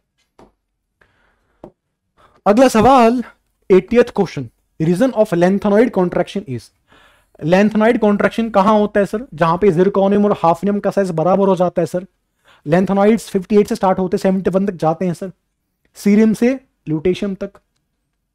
फोर एफ़ ऑर्बिटल्स में इलेक्ट्रॉन आने शुरुआत हो जाते हैं, जिसकी वजह से फोर एफ़ की शील्डिंग पूर होती है इम्परफेक्ट शील्डिंग होती है, जिसकी वजह से साइज़ कॉन्ट्रैक्ट कर जाता है। तो negligible screening of f electrons orbitals हाँ सर, बाकी तो फालतू बातें लिखी हैं। स्क्रीनिंग मतलब होता है शील्डिंग इफ़ेक्ट शील्डिंग बोल लीजिए या स्क्रीनिंग बोल लीजिए बच्चा, किसकी? एफ़ ऑर्बिटल की। सबसे बेहतरीन शील्डिंग होती है एस की then P then D then F S और पी की अच्छी मानी आते हैं डी की पुअर एफ़ की वेरी पुअर ठीक? जिसके कारण आपका कॉन्ट्रेक्शन यहाँ पे आता है। और अलोंग द पूरा that group along along that group पूरा साइज़ आपका डिक्रीज करता चला जाता है बच्चों। अलोंग द ऑल्सो उसका प्रभाव पड़ता है फोर्टी फाइव डी में, कि फोर्टी फाइव डी के सभी का एटॉमिक साइज़ बराबर हो जाता है। तो ये सब बातें पढ़ी होंगी आपने। द स्पीशीज आर्गन ये सवाल खुद ही करेंगे आप। क्यों? पता आपको क्यों? सेम सवाल हम कर चुके हैं एटॉमिक स्ट्रक्चर में। सेम सवाल हम कर चुके हैं एटॉमिक स्ट्रक्चर में सेम क्वेश्चन वो क्या होता है कई बार? कॉन्फ़िगरेशन देखने के बाद बुकलेट वाले क्वेश्चन को हर टॉपिक में डाल देते हैं। कि ये सवाल एटॉमिक के अंदर भी आ सकता है, ये सवाल इसके अंदर भी आ सकता है। बट इसको मैं ऑलरेडी करा चुका हूँ एटॉमिक के अंदर। आप दोबारा इसका ट्राई कर सकते हैं। बिकॉज़ ऑफ़ लेंथोनॉइड कॉन्ट्रैक्शन क्या होगा? मतलब किसका साइज़ बराबर होगा? मैं बताऊँ कि बता दोगे? सर बता ही दीजिए, अभी आपने बता ही दिया वैसे भी कौन है माफ़ नहीं हम। पूरा थ्री सीरीज़ पूरी फोर सीरीज़ पूरी फाइव सीरीज़ यानी कि पूरा डी ब्लॉक याद होना चाहिए। पूरा डी ब्लॉक यानी कि क्लास ट्वेल्थ में डी ब्लॉक है, वहाँ पढ़ेंगे नहीं बेटा। ग्यारहवीं में हम पढ़ाते हैं पूरे टेबल के अंदर, पूरा डी ब्लॉक एटलीस्ट एलिमेंट तो याद होने चाहिए। क्लास ट्वेल्थ में क्या पढ़ेंगे? प्रॉपर्टीज़ पढ़ेंगे बच्चे, वहाँ तो। वहाँ थोड़ा टेबल याद करने बैठेंगे। टेबल और बाकी फीचर्स तो यहाँ यहाँ पढ़ लेंगे ना। वहाँ तो एलिमेंट और कंपाउंड्स की प्रॉपर्टीज़ पढ़ेंगे आगे चल के। नेक्स्ट क्वेश्चन देखो, ध्यान से आप।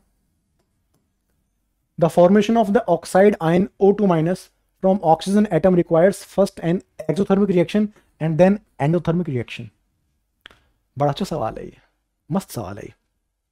ऑक्सीजन ने खाया इलेक्ट्रॉन बना ओ माइनस क्या रिएक्शन फेवरेबल है? हाँ फेवरेबल फेवरेबल है सर बिकॉज़ एंथेल्पी काफ़ी नेगेटिव है। मतलब रिएक्शन फेवर कर रही है। सेकेंड रिएक्शन ओ माइनस ने खाया इलेक्ट्रॉन बना ओ टू माइनस अब रिएक्शन फेवरेबल नहीं है।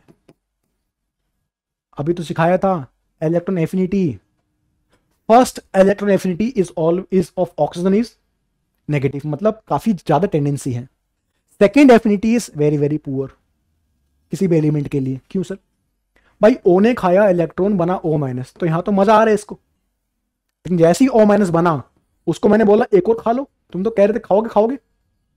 अब परेशान हो गई क्यों सर बिकॉज़ ओ माइनस वैसे भी स्टेबल नहीं है। साइज़ कम है नेगेटिव चार्ज आ चुका है। आप कह रहे हैं कि एक और नेगेटिव चार्ज आएगा आपके ऊपर। नहीं भैया। अब नहीं आने वाला। ज़बरदस्ती लाया जाएगा मतलब reaction will be endothermic second reaction favourable नहीं है। उसको फेवरेबल कराया जा रहा है। एनर्जी दे के प्रोसेस करवाया जा रहा है। Reaction is not favourable second affinity of any element is positive because एक इलेक्ट्रॉन खाने के बाद सेकेंड इलेक्ट्रॉन की चाहत किसी के पास नहीं है खाने की। ठीक है, ये वाली बात हमेशा ध्यान रखना। बेसिक नोट्स का सवाल है ये।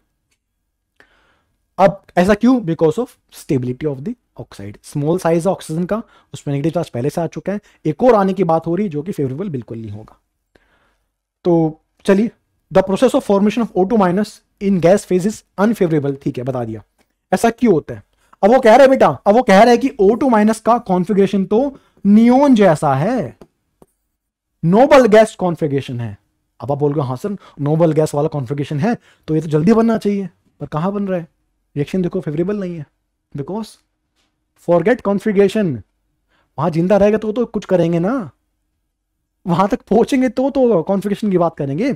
ओ टू माइनस में दिक्कत क्या है कि ओ टू माइनस का फॉर्मेशन फेवरेबल नहीं है बेसिकली बिकॉज़ उसका साइज़ बड़ा छोटा है और इलेक्ट्रॉनिक इलेक्ट्रॉनिक रिपल्शन किसी भी बड़ी चीज़ को ओवरकम कर देता है स्मॉल साइज़ के अंदर। मज़ा आ रहा है, मुझे पता है। कॉन्फ़िगरेशन का मज़ा है, अपना मज़ा है कॉन्फ़िगरेशन का। लेकिन इलेक्ट्रॉन इलेक्ट्रॉन रिपल्शन एक बड़ा फैक्टर बन जाता है, अगर एटम का साइज़ छोटा रहेगा तो। I hope it is very very clear oxygen is more electronegative तो उससे मुझे क्या मतलब? Addition of electron in oxygen result in larger size size बढ़ जाता है हाँ तो उससे हम क्या करेंगे? साइज़ बढ़ गया तो। रिपल्शन भी तो बढ़ रही है। Electron repulsion outweighs overcome the stability gained by yes ये अच्छी बात कही ना इसने कि नोबल गैस कॉन्फ्रिक्शन तो है, लेकिन इलेक्ट्रॉन रिपल्शन के बारे में क्या कहोगे? और मैं नहीं कह रहा हूँ, ये तो डाटा बता रहा है आपका। डाटा खुद ही कह रहा है कि सेकंड स्टेप फेवरेबल नहीं है बिकॉज़ सेकंड इलेक्ट्रॉन का एडिशन हमको करवाने के लिए एनर्जी देनी पड़ रही है। Next question what is the correct order of increasing energy of the listed orbitals in atoms of titanium titanium का आपसे बेटा ऑर्बिटल्स की एनर्जी का ऑर्डर पूछे। स्कैंडियम के बाद आता है titanium. Three D two four S two. इससे पहले आपके पास नियोन आर्गन पूरा भर लीजिए आप। आर्गन का लास्ट एलिमेंट मतलब दैट इज़ लास्ट इलेक्ट्रॉन कहाँ आएगा? थ्री पी में आएगा। So three P then four S then sir, इनका एनर्जी का ऑर्डर पूछा। तो लगा लो N plus L rule N plus L is five N plus L four N plus L three और one four so three D का ज़्यादा energy है sir इन दोनों में बताइए। अगर एन प्लस एल बराबर आएगा तो जिसका एन छोटा, उसकी एनर्जी कम हो जाती है। सब सिखा चुका हूँ एटॉमिक के अंदर, जाके देख लीजिएगा वीडियो भैया। अरे, उल्टा काहे कर दिया। जिसका एन छोटा, उसकी एनर्जी कम हो जाएगी। तो सब, सबसे कम एनर्जी हो जाएगी थ्री पे की देन फोर एस के देन थ्री डी की। तभी तो इलेक्ट्रॉन भरे आते हैं। तो जो हमको पता है, वही पूछा गया बेटा। और थ्री सबसे आगे हो जाएगा, सर। क्या पूछा है आपसे? इंक्रीजिंग एनर्जीज इंक्रीजिंग मतलब सबसे पहले कौन सा आएगा अपने पास? बढ़ते हुए क्रम में, थ्री लास्ट में आएगा सर अपने पास। तो फोर एस नहीं आएगा, थ्री आएगा। Three P three D three S four S three P ठीक है भैया। तो थ्री डी आ रहा है। देन फोर एस आना चाहिए, नहीं आ रहा है। थ्री डी आ रहा है, four S three P three S option two आ जाएगा। बड़ा प्यारा सवाल है यार, कि एनर्जी का ऑर्डर बता दीजिए आप। ठीक है, बता देंगे। आसान सवाल है बेसिकली नेक्स्ट क्वेश्चन देखिए फटाफट से, बच्चों। कर लोगे? ट्राई करें। आइए। डज नॉट एग्री कौन सी वाली बात गलत है अरेंजमेंट के हिसाब से? Aluminium plus three M G plus two N A plus F minus होगा यहाँ पर पूछे इंक्रीजिंग आयनिक साइज़ बताए बिकॉज़ आयन तो होना चाहिए। तो मैंने कहा, ये सभी के सभी आपस में आइसो इलेक्ट्रॉनिक स्पीशीज हैं। नेगेटिव चार्ज है, फिर प्लस हाईली प्लस तो पहले वाला ट्रू तो है सर हमें कहना है, गलत कौन सा है? डज नॉट एग्री कौन सा गलत है, वो छाटना ये तो सही है सर पहला वाला तो। सेकंड बताइए increasing first ionisation enthalpy oxygen nitrogen carbon boron check कर दीजिए फटाफट से। सेकंड पीरियड का एलिमेंट है बोरोन कार्बन नाइट्रोजन ऑक्सीजन यहाँ से यहाँ जाने पे आयनिशन एनर्जी बढ़ती है। लेकिन लेकिन लेकिन हाफ़ फ़ील्ड हाँ नाइट्रोजन इज़ हाफ़ फ़ील्ड और हाफ़ फ़ील्ड अपने आगे वालों को बीट कर देता है। बताया था अभी। आंसर क्या हो जाएगा? Answer will be nitrogen then oxygen then carbon then boron इन चारों में ये आंसर हो जाएगा। अगर हाफ़ फ़ील्ड या फुली फ़ील्ड है तो उसकी एनसेंसी ज़्यादा हो जाती है। किससे ज़्यादा हो जाती है? जस्ट अपने पड़ोसी से जस्ट अपने पड़ोसी से। तो एन ओ सी एस आना चाहिए। गलत आ रहा है, सर। गलत मतलब ये हमारा आंसर है। बाकी तो बेसिक निकाल लो गया। बाकी निकाल लो गया। ठीक है। डज नॉट एग्री पूछे आपसे। तो order does not agree with the variation increasing first ionisation energy बच्चों। तो ये गलत है। आयनस एनर्जी वाला और चेक कर लीजिए आप, कुछ और गलत है क्या? साइज़ पूछा है साइज़ तो ठीक है, सर ये। ये भी ट्रू है। इसके में देख लीजिए एक बार। फ्लोरीन क्लोरीन ब्रोमीन आयोडीन क्या पूछा है? इंक्रीजिंग इलेक्ट्रॉन गेन एंथैल्पी ये भी गलत है, सर। क्लोरीन आगे होना चाहिए। ये भी गलत है, सर। मतलब इसका आंसर क्या हो जाएगा? Option B and option C हमसे पूछा does not agree with the variation property बच्चों। आपको सिखाया था क्लोरीन की ज़्यादा इलेक्ट्रॉन एफिनिटी होती है बजाय क्लोरीन की बेटा। तो इसका आंसर क्या होगा? इसका ऑप्शन के अंदर बेटा इसका सवाल था कि पहला option A and B second option A B and C ऐसे इसका गिवन था। तो इसका आंसर क्या क्या हो जाएगा? बी भी गलत है प्रॉपर्टी वाली जो गीवन है सी भी गलत है बच्चा प्रॉपर्टी अपने पास। यहाँ पूछे इलेक्ट्रॉन गेन थेल्पी तो सबसे ज़्यादा कौन सी हो जाएगी? क्लोरीन की रहेगी, ना कि फ्लोरीन गलत है। और यहाँ पूछा था आपसे इंक्रीजिंग फ़र्स्ट आयनिश एंथैल्पी तो ये बोरोन कार्बन हाइड्रोजन ऑक्सीजन, ये अपने पास एलिमेंट होते हैं। लेफ़्ट टू राइट एनर्जी बढ़नी चाहिए, लेकिन चूँकि हाफ़ फ़ील्ड है तो इसकी इससे ज़्यादा हो जाएगी। तो आंसर में एन आगे आएगा, फिर ये फिर ये, फिर डन बड़ा प्यारा सवाल है, बड़ा बेसिक सवाल है बच्चों। करके मज़ा आ गया। द एलिमेंट जेड बराबर one one four great has been discovered recently it will belong to which of the following family group and बड़ा ही मज़ेदार सवाल है वेरी वेरी इंपॉर्टेंट वो कह रहे 114 पे जो एलिमेंट आता है, उसका ग्रुप बताइए, उसका पीरियड बताइए, उसका ब्लॉक बताइए। मैंने कहा, ये तो कैसे बताएँगे भैया? बच्चे को तीस तक याद होता नहीं है। आराम से बता देंगे। बड़े प्यार से बता देंगे, सर। बहुत ही प्यार से। कैसे बताएँगे, सर? बहुत ही प्यार से आंसर आ जाएगा इसका। कैसे आएगा, सर? देखो ध्यान से। अगर z आपका 104 से लेके 118 तक है ना? हाँ जल्दी जल्दी बता, जल्दी जल्दी। जल्दी क्या होती है बेटा? लास्ट के दो digit last two digit question खत्म। ग्रुप नंबर अच्छा अब सारी बात होना बताऊँगा यहाँ पे। सारी बात नहीं बताने वाला? पढ़ा, काम की बात बता दूँगा, सारी बात नहीं बताऊँगा। काम की बात, सवाल बन जाएगा। Last two digit group number दिखाएगा। अगर आपका एलिमेंट 104 से 118 के बीच में है तो। अगर मेरा एलिमेंट 104 है, ये फोर्थ ग्रुप का एलिमेंट है। अच्छा। अगर मेरा एलिमेंट 110 पे है तो टेंथ ग्रुप का एलिमेंट है। ओके, ग्रुप 18 तक होते हैं, पता तो होगा। अगर अगर 100 100 114 का एलिमेंट है तो फोर्टींथ ग्रुप का एलिमेंट है। कार्बन फैमिली कार्बन फैमिली जिसको आप बोलते हैं। अगर 118 पे जो एलिमेंट है तो एटीन ग्रुप का एलिमेंट है। अच्छा सर 120 पे आगे फिर बताओ, आपका लॉजिक फेल कर जाएगा। भैया, ऐसे कैसे, क्या बात करते तुम यार? अगर 120 पे का एलिमेंट है तो एलिमेंट अगर 18 पे आ चुका है तो 19 पे क्या आएगा? सीरीज़ वापस चालू हो जाती है बेटा। एक, दो, तीन, अठारह ग्रुप आ गया। एटीन ग्रुप उस पीरियड का लास्ट एलिमेंट होता है। एटीन ग्रुप मतलब उस पीरियड का लास्ट एलिमेंट है ना वो। वापस आओगे first group second third fourth अगले पीरियड के अंदर। हाँ याद आ गया सर, बड़ी बात नहीं सॉरी गलती से मिस्टेक हो गया। फिर आर्गन खत्म हुआ पोटेशियम वापस फ़र्स्ट अच्छा ऐसे होता है हाँ सर, ऐसे तो अगर अगर अगर अगर 120 नंबर का कोई एलिमेंट है तो 120 नंबर वाले एलिमेंट कौन से ग्रुप का होगा? तो 118 मतलब 18 ग्रुप का है। 119 वापस फ़र्स्ट पे आएगा। फ़र्स्ट ग्रुप का होगा 119 120 वाला सेकेंड ग्रुप का एलिमेंट है। सर, मज़ा आ गया देख के। सारी बात होने बताइए, बहुत बेसिक बात बताइए मैंने। सारी बात कैसे बता दूँगा? इस एक वीडियो के अंदर। पर आपका सवाल बन जाएगा। हाँ आपका सवाल बन जाएगा, सर। पूछा है कौन सा होगा कॉन्फ़िगरेशन क्या रहेगा? तो मैंने कहा, भाई ग्रुप 14 का एलिमेंट है कार्बन फैमिली होगा। कार्बन फैमिली देखो ध्यान से। क्वेश्चन खत्म। बस। सवाल कब का है? नीट का सवाल है। अच्छा क्वेश्चन है वाले। बट आपको काफ़ी अच्छा मैंने आइडिया दे दिया भाई, ठीक है? सर, अगर एग्ज़ाम में 103 आ गया तो सर आपका ट्रिक काम नहीं करेगी ट्रिक बेटा कंसेप्ट है। ट्रिक थोड़ी ना होती है। 103 आगे से बताओ कहाँ आएगा। ये तो काम नहीं करेगा सर अरे मुन्ना 90 से लेके 103 तक कौन चलता है? कौन कौन कौन? Actinoids actinoids five F series F block element है। हाँ हाँ हाँ हाँ। 58 से 71 क्या चलता है? Lanthanoid four F series F block के एलिमेंट है and complete F block group three में आते हैं। कंप्लीट और बीच के बीच के तो वैसे पता कर लोगे, पचास पे कौन आते हैं, छप्पन पे कौन आते हैं, चालीस पे कौन आते हैं, वो तो वैसे आप निकाल लोगे, बड़ी बात नहीं पूछी उसमें। दिक्कत तो जहाँ उसको पता है कि बच्चा कहाँ फंसेगा। हम कैसे फंसा देंगे बच्चे को भैया? मोस्ट एसिडिक ये मैं आपके लिए छोड़ रहा हूँ। कुछ तो करो भैया। मुझे बताओ कि सब मैंने कर लिया था। कमेंट करके बताओ। ये सवाल बढ़िया है, देखो ध्यान से फटाफट से देखे थे एटॉमिक रेडियस बताओ ग्रुप थर्टीन का। फ़ेमस सवाल है ग्रुप थर्टीन के दो सवाल आते हैं।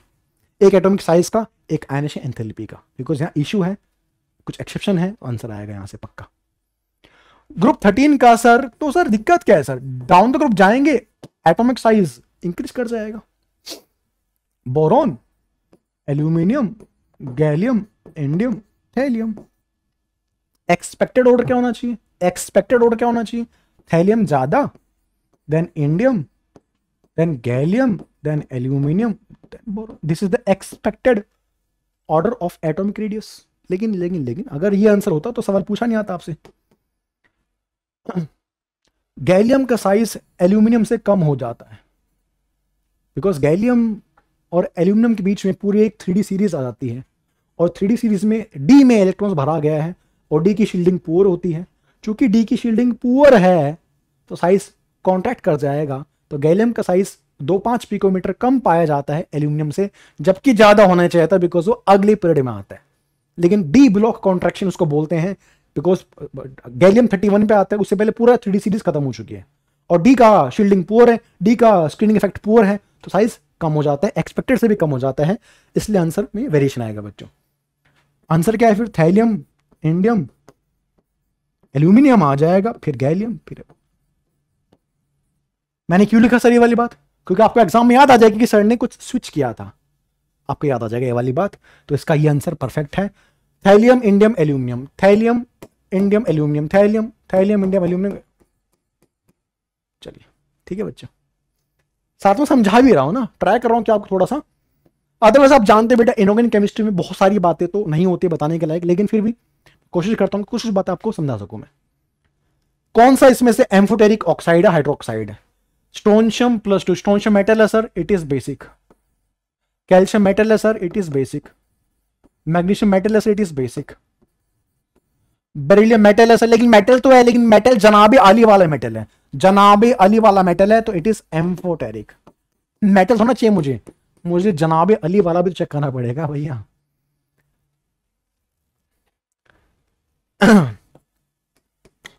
मुझसे पूछा गया increasing order of first ionisation enthalpy second group second period का एलिमेंट गिवन है लिथियम से लेकर नियोन तक lithium beryllium boron carbon nitrogen oxygen fluorine neon trend क्या है? सर यहाँ से यहाँ जाने पे आयनेशन एनर्जी बढ़ती है, ये जनरल ट्रेंड है। जनरल ट्रेंड आपके सामने मैंने बता दिया। तो नियोन का एक हाईएस्ट होना चाहिए, इसका लीस्ट होना चाहिए। लेकिन सर, आपने कहा था कि हाफ़ फ़ील्ड फुली फ़ील्ड वाला कंसेप्ट भी होता है। Beryllium two S two fully filled nitrogen two P three half filled और नियोन तो फुली फ़ील्ड है, आगे रहेगा, वैसे भी आगे, वैसे भी आगे रहेगा वो, कोई डाउट ही नहीं है। सर, आपने कहा था कि जो फुली फ़ील्ड होते हैं, जो हाफ़ फ़ील्ड होते हैं, वो अपने जस्ट आगे वालों को बीट करते हैं। अपने जस्ट आगे वालों को बीट करते हैं, बस। बाकी ऑर्डर एज इट इज़ लगा दीजिए, बिना किसी दुख दर्द के, बिना किसी दिमाग लाए। सी के बाद आपके पास बेरिलियम आ जाएगा। तो हाफ़ फ़ील्ड और फुली फ़ील्ड वाले अपने जस्ट आगे वाले को बीट करते हैं एनएस एनर्जी की वैल्यू के अंदर। तो फ्लोरिन के बाद नियो लास्ट में नियोन तो है ही। नियोन तो बेटा होते नियोन का तो ज़्यादा रहेगा, उसको लगा लो। देखो नियोन समझ गए। नियोन के बाद फ्लोरिन फिर N neon F N neon F N हाँ। फिर ओ C B O C B O सी ठीक है बच्चों, चलिए हो जाएगा four D five F five F N six P orbitals energy पूछिए, लगा दीजिएगा एन प्लस एल रूल कर लीजिएगा। सवाल है एटॉमिक का। हाँ भाई, बताओ क्या बताना है? सर, पूछा है, ने, अरे यार, अभी तक दस सवाल आ चुके हैं नेचर वाले पे। पहले बताया था मैंने, सवाल पक्का पूछेगा। एन टू क्या है? Sir it is laughing gas it is it is it is it is neutral aluminium जनाबी Ali amphoteric sodium basic chlorine chlorine non metal है। नॉन मेटल है तो इट इज़ एसिडिक मैचिंग निकाल लीजिएगा। ये सवाल कहाँ से आ गया सर नेमिंग सिखाते हैं आपको। Z बराबर सौ से ऊपर वालों की हम नाम करते हैं। क्यों सर? नाम क्यों करते हैं? बेटा, जब रशिया और यूएस में लड़ाई माच रही थी मतलब जब झगड़ा हो रहा था तो उस टाइम पे एलिमेंट डिस्कवर भी किए जा रहे थे। क्योंकि जब एलिमेंट डिस्कवर हो रहे हैं तो उस देश के साइंटिस्ट क्या कह रहे थे कि चूँकि हमने डिस्कवर किया तो उसका नाम हमारे साइंटिस्ट के ऊपर होना चाहिए। मैंडिलीवियम लोरेंशियम हाँ हमने डिस्कवर किया भैया तो हमारे साइंटिस्ट का नाम आएगा। तो एक आईयूपीएससी नाम की संस्था है। उस आईयूपीएससी नाम की संस्था ने बोला कि ठीक है टाइम बिंग हम इनका नाम आईयूपीएससी वाला रख देते हैं। टेम्प्रेरी नाम जो होता है, जब ये डिस्कवर अच्छे से हो जाएँगे, इनकी प्रॉपर्टीज़ जस्टिफाई हो जाएँगी, फिर आपका जो नाम है एंस्टीनियम लोरेंशियम वो सब रखना आप चालू कर दीजिएगा। और हमारे बच्चों को कंफ्यूज मत करो। हमारे बच्चे इंडिया वाले, प्यारे प्यारे बच्चे हैं, कोई दिक्कत वाली बात नहीं है। हालाँकि आईयूपीएससी इंडिया वाला नहीं है, वो बाहर का संस्थान है, लेकिन वो समझता है इंडिया वाले बच्चों की। इंडिया वाले बच्चे सिंपल बातों में समझते, समझ के आगे निकल जाते हैं। वो चीज़ों को डिफ़िकल्ट नहीं करते हैं। तो आई से क्या बोलता है कि बड़े बड़े नाम मत रखो इनके सामने, इनको बस दिखाओ कि इनका आई नेम क्या होता है। बिकॉज़ ये नाम देख के तो हमारा बच्चा घबरा जाएगा। और क्यों याद रखेंगे फालतू के नाम? आगे तो ठीक है, लेकिन अदरवाइज़ हम इनको याद नहीं रखते हैं। इसलिए अभी सवाल सॉल्व कैसे करने हैं? थोड़ा दिमाग लाना पड़ेगा, याद करना पड़ेगा। मैं अक्सर कहता हूँ कि एक एक सौ एक से लेके एक सौ दस तक आयु पैसे भी याद रखो, और उन साइंटिस्ट को भी याद रखो उनके नाम। और मैं हमेशा से कहते हैं वाली बात को, हमेशा। बिकॉज़ मेंडिलीवियम लोरेंशियम ये काफ़ी इंपॉर्टेंट नेम है। 103 पे कौन आता है? लोरेंशियम आता है अपने पास। अभी ये बात नहीं पता होगी तो आपको ये सवाल आपसे नहीं बनेगा। हालाँकि अभी तक ये सवाल एक ही बार आया है कि नाम भी पूछा है और आईपी से नेम भी पूछा है। तो आपको पहले दस एलिमेंट के नाम याद होने ही चाहिए साइंटिस्ट के भी और आईपीएससी के तो आपको वैसे भी याद रहते हैं। उनकी दिक्कत नहीं होती। तो सवाल बिल्कुल इसी बेस्ड पे है। लोरेंशियम किस पे आएगा? 103 पे आएगा सर एक्टिनोइड का लास्ट एलिमेंट है. 103 का मुझे बताओ आयुपीसी नेम क्या हो जाएगा सर सर वन वन के लिए हो जाएगा अन ज़ीरो के लिए हो जाएगा नील थ्री के लिए ट्राई पीछे लगा देंगे ईएम मैचिंग चेक कर लीजिए. अन, इल ट्राई ईएम सेकेंड वाला मैच कर रहा है सर अपने पास. बी का टू बी का टू मैच कर रहा सर अपने पास। और बताइए अन नील वन ज़ीरो अन, एक सौ एक। क्या एक सौ एक को बोलते हैं मैंडिलीवियम?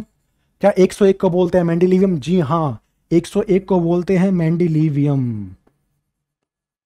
मैंडिलीव पीरियड तो ये करेक्ट है सर, ये वाली मैचिंग करेक्ट है।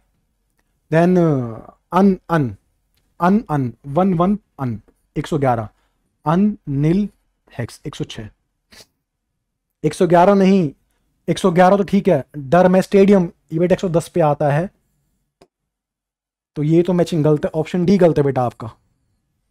तो पूछा ना आपसे, क्या पूछा? Identify the incorrect match. हाँ गलत पूछा, तभी मैं कहूँ मेरे दो आंसर सही आ गए। मैचिंग तो एक ही गिवन है। पूछा सवाल उल्टा है कि आपसे गलत मैचिंग बताइए। तो मैंने कहा, ये वाली मैचिंग गलत है, यानी कि डी का फोर नहीं होना चाहिए, ये गलत मैचिंग है, और ये हमारा आंसर ऑप्शन ए। बाकी सारी मैचिंग सही जाने वाली हैं। डी में इट इज़ रॉन्ग मैचिंग मैंने आपको हिंट दे दी है। बाकी आप दस तक याद करके जाएँगे। अब सारी लिखवाने बैठूँगा तो नहीं तो टाइम नहीं है बच्चों। पर आप समझ आपको आ गया कि भाई 110 मतलब एक सौ के बाद 110 तक 10 एलिमेंट के नाम भी पता होना चाहिए साइंटिस्ट वाले, और आईपीएससी नाम तो वैसे ही पता होते इसका बताइए, बता दोगे या करा दूँ? CO neutral beryllium barium sorry basic amphoteric acidic copper fluorine silicon cerium कौन सा क्या होता है? सवाल आराम से बनेगा आपसे। इसका मतलब मैं अगर सवाल कराऊँगा इसका मतलब थोड़ा ना सारा सवाल करा दूँगा आपको। जो बड़े आसान सवाल है वो तो आप ऐसे कर लोगे। हाँ हाँ कर लेंगे सर फिर। Identify the incorrect statement zirconium and hafnium have same size हाँ ये तो करेक्ट है।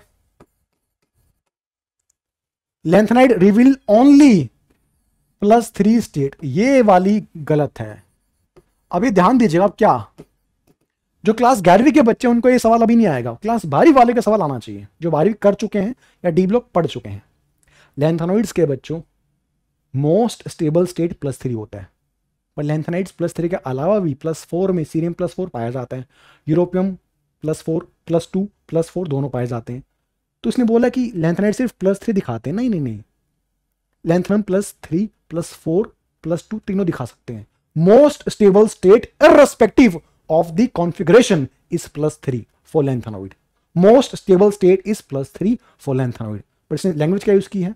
ओनली प्लस थ्री रिवील करते हैं। ओनली प्लस थ्री शो करते हैं। नहीं बेटा। प्लस टू वाले भी तो शो करते हैं। स्टेबल नहीं हो पाता अलग है, पर शो तो करते हैं। तो यही गलत है, ये मेरा आंसर है। पूछा गलत बताइए। ठीक। एम्फोडरी कौन सा है? सर, टिन, खत्म। Tin tin plus two plus four दोनों में एम्फोडेरिक होता है। जनाब अली, गाया करे सुना। सुना means tin S N H F H C L H B R H acidic strength वो होती है हाँ। सही बात है। वो हो गया पहला statement two size of element increase down the group the bond strength of H F H I will decrease and acidic हाँ बेटा एच आई का बॉन्ड वीक है, जल्दी टूटेगा। एच एफ़ का बॉन्ड स्ट्रॉन्ग है, टूटेगा नहीं। और टूटेगा नहीं एच प्लस बाहर जाएगा नहीं एच प्लस बाहर जाएगा नहीं तो एसिडिक स्ट्रेंथ कम हो जाएगी। दोनों बातें करेक्ट है sir IUPAC name of element with one one nine देखो फिर सवाल आ गया। एक सौ उन्नीस का नाम बताओ। एक का अन, एक का अन एन का यन, यही हम आप वीडियो पोस्ट कर लिया करो। मेरे क्वेश्चन कराने से पहले, कि पहले मैं ट्राई करूँगा। क्योंकि मैं तो जल्दी कराऊँगा। बेसिक सवाल है। अच्छे पे ध्यान दूँगा। तो आप वीडियो पोस्ट करो सर मेरा आंसर ये आएगा। फिर फटाफट चेक कर लो आप। ये नहीं कि सर आप तो भगा रहे हो। अब वो स्मार्टनेस आपके अंदर बेटा आनी चाहिए ना। ये बात पहले बता चुका हूँ मैं इन द मोल कॉन्सेप्ट कि आपको इन वीडियो को कैसे यूज़ करना है। गैडोलियम जीडी गैडोलियम 64 नंबर पे आता है। एफ़ लोक लेंथनोडिक एलिमेंट है। Has a low value of third ionisation energy because of third ionisation energy उसकी लो रहेगी थर्ड पूछा है। So gadolinium is half filled gadolinium 64 पे आएगा बच्चा अपने पास। आउटर मोस्ट में फोर एफ़ सेवन आ जाएगा। फोर एफ़ सेवन फिर फाइव डी फिर सिक्स एस याद आ रहा है? N S N P N minus one D N minus two F N अगर सिक्स है तो ये भी सिक्स हो जाएगा, ये फाइव डी हो जाएगा, और ये फोर एफ़ हो जाएगा। ये तरीका होता है इलेक्ट्रॉन्स भरने का कॉन्फ़िगरेशन का। सर 64 में ये इसका वन आ जाएगा सर और यहाँ इसका टू आ जाएगा सर एक बार एनर्जी चेक कर लेते हैं। एक बार एनर्जी आप चेक कर लीजिए। फाइव डी और सिक्स एस में। फाइव डी और सिक्स एस में एनर्जी चेक कर लीजिए आप। सिक्स एस की एनर्जी कम है तो उसमें जाएँगे दो इलेक्ट्रॉन्स डी में जाएँगे एक। अब ठीक है 64 नंबर पे आएगा अपने पास। 64 का मतलब सर इससे पहले नोबल गैस कौन सी आ चुकी है? जेनोन आ चुकी है। Helium neon argon krypton xenon 54 पे। तो जेनोन का what is outermost configuration xenon group xenon fifth period की लास्ट एलिमेंट है। बिकॉज़ ये सिक्स पीरियड का एलिमेंट है तो फिफ्थ के बाद छठा स्टार्ट हुआ होगा।